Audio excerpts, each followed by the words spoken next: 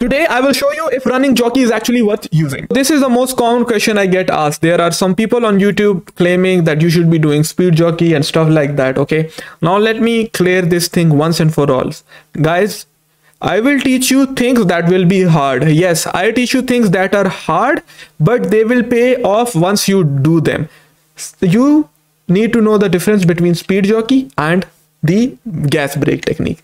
Now let me show you when do I use the gas brake technique. Now you can see on the controller okay? Right now i am using the r2 button with paqueta to come closer. Okay look i am only using the r2 button to come closer. Now understand this thing and you will see what i mean okay?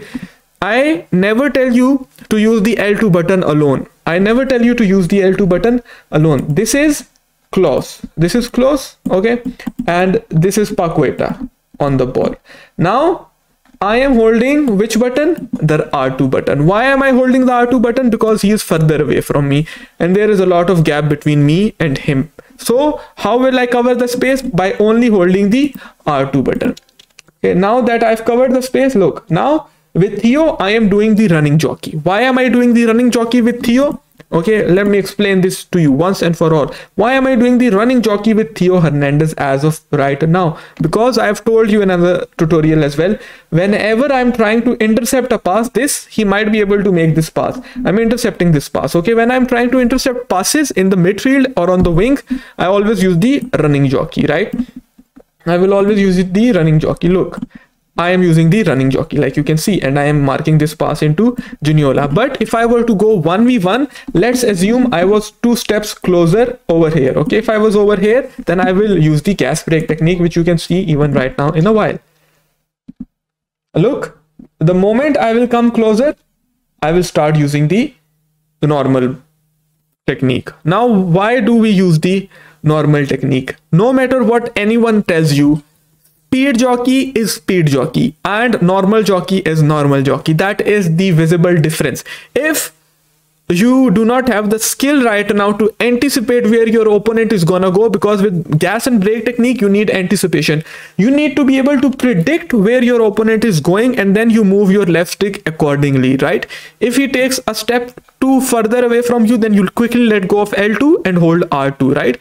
But you need to know if he's gonna do let's say the La Croqueta or is he gonna do the ball roll? Whatever he's he gonna do. Like look at me right now okay? I'm using L2 and trying to intercept both of his passes right?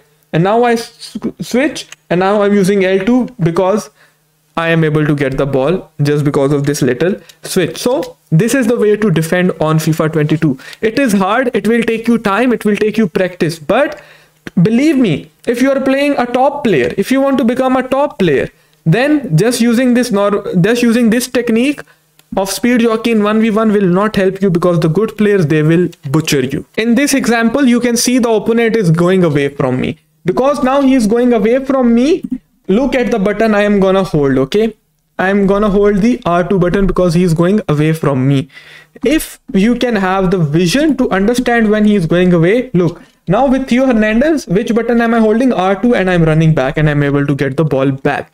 So these are the two buttons that we use. R2 to run, L2 to get in shape and get into the position to jockey and be able to maneuver left, right, left, right and be able to stand our ground. If we see they are going away, look at me in the camera, you just run and when we get close, we stand, right? Now with speed jockey, yes, you can control it if you caress the stick.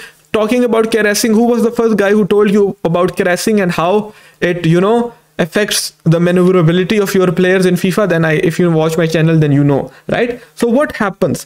Yes, you will be able to have better control if you caress the technique, but at the same time, even then you will be off balance because you are still in that running motion, right? Once you let go of that R2 button, you will have more control over your player and you'll be able to defend much better. Whereas the technique in the normal braking technique, the L2 jockey technique, then it is even better. Speed jockey, use it only when intercepting passes or use it in the attacking half. If you use it, if you use it in the attacking half, what happens? Even if you lose the ball, it is fine. It's okay, but defending 1v1 in your own half, if they get past your defender, it's done. It's a goal. So watch this video again and again and also watch this video right here to understand gas and brake technique in depth. Until next time, it's me King Sunny out. Pay attention to what I say and you will be successful.